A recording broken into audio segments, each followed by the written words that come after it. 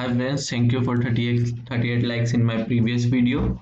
And we have completed 100 subscribers today. So thank you so much to all of you. So today we are going to discuss another problem of CSES that is uh, two sets. So what this problem says we have uh, uh, n coins whose values is from 1 to n and we need to divide these coins into two sets such that the sum of values in the first set would be equal to the sum of values in the second set.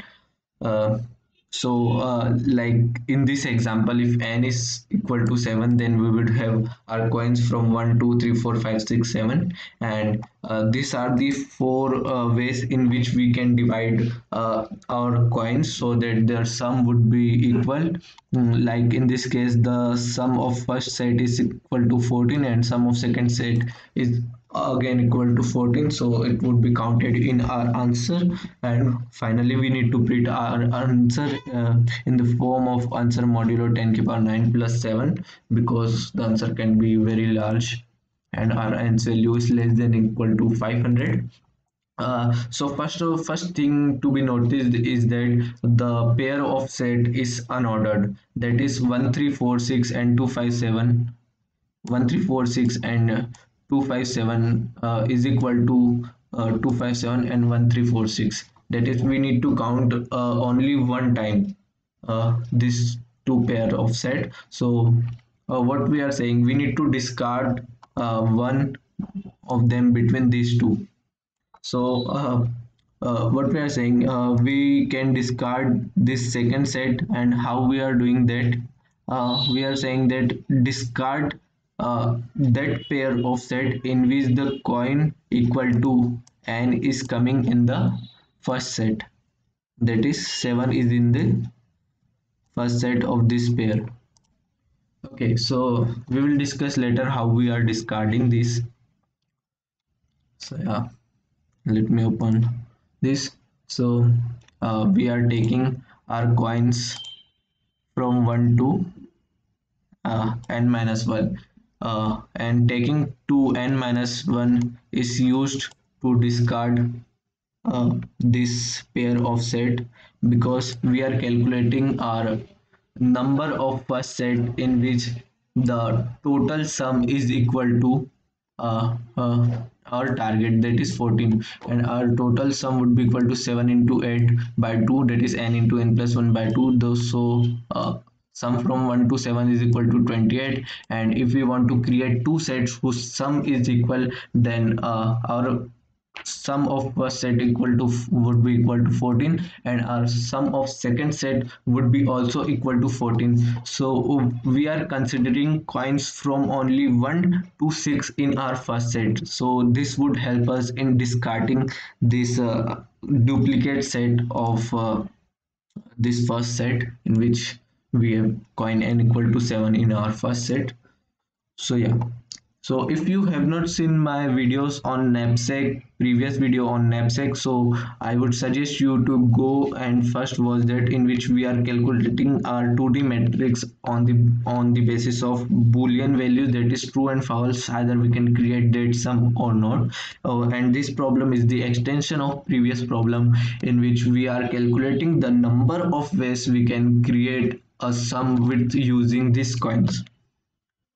Okay so yeah this is this question is similar like the previous one. So first of all what we are doing we are taking uh, n as input then we are calculating our total sum that is n into n plus 1 by 2 and if this sum is even then only we can create our target sum uh, we then only we can create two um, sets whose sum would be equal to each other. And if this this is odd then we are um, uh, printing 0 and uh, if this is even then uh, our target sum would be sum by 2 that is 28 by 2 equal to 14 in this case. So yeah uh, these things I've already explained uh, then after that what we are doing we are creating a vector of coins whose name is a and we are pushing the uh, coins value from 1 to n minus 1 in this uh, vector.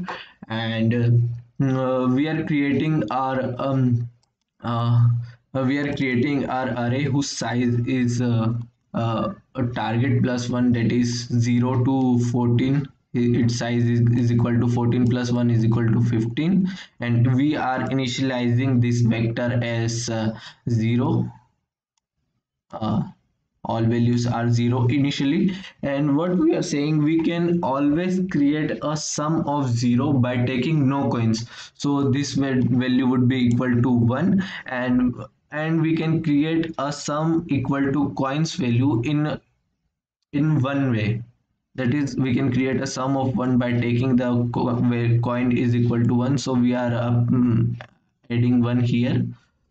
So yeah this is the initialization of our uh, first row. And uh, finally what we are saying instead of uh, creating a matrix or 2d matrix we can just create a two vector of 1d uh, because we will need only the previous vector to create the current vector. So uh, first of all what this row says if we are at the row 3 then we are calculating our uh, sum as we are calculating our answer as taking a coin equal to 1 2 and 3 in our set and creating this sum. Either we can create this sum and if yes in how many way in how many ways we can create this sum okay so uh, let me first erase some of this. Okay.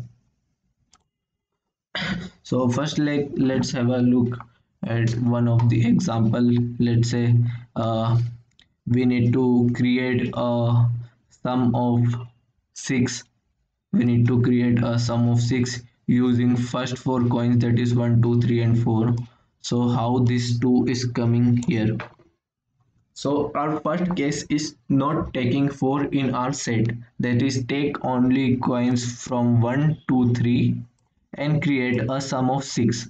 So in this case what would be our target sum? Our target sum would be equal to the uh, original target that is 6 and how many coins we have? We have coins 1 2 3 so we will take the value from this row with target sum 6 so this would be added in our answer. That is 1 plus. And in next case what we are saying take 4 in our uh, set. So what would be our target uh, sum? Our target sum would be equal to 6 minus 4 because we have already taken a coin of value 4 so our target sum would be equal to uh, 2 and we and we need to create this target using the uh, previous coin that is first three coins. So uh, we will go in this row and in this column that is target sum is equal to 2 and we will add this value uh, to our answer. That is 1 plus 1 2 that's what we have uh, written here. In the uh, uh, in this way we can create our whole 2d matrix. And finally we need to print this answer. That is uh, creating a sum of 14 by taking coins from 1 to 6 okay so as you can see this uh, we only need the uh, previous row to create our uh, current row. So yeah so our first row is created here. And finally we are iterating from iterating n minus uh, 2 times that is from 1 to uh, let's say this is equal to n minus 2 so to better understand we are iterating from 1 to n minus 2 that is uh, from 1 to 6 and we are copying our current array to our temp array. That is temp would be temp would indicate the previous uh, uh, vector. And uh, what we are saying our current coin is a5 that is obvious and for sum equal to 0 to target that is sum equal to 0 to 14 uh, uh, if we uh, if we leave the coin then uh, we need to add the value at the previous column that is this one in this case we have added here. And if we take the coin that is the coins value is equal to sums value. Uh, uh, let's say uh, we need to create a sum of 3 and we have a coin of 4 so our target would be equal to if we take coin 4 then our target would be equal to 3 minus 4 that is equal to minus 1 so this is not possible. The sum of minus 1 is not possible and we do not have negative index also. So uh, we are uh, uh, checking this in our if condition. And if the coins value is less than or equal to our target sum then what we are saying take this coin in your set and add the number of ways in which you can create the sum of j minus coin uh, with, uh, by using the uh, previous uh, previous coins.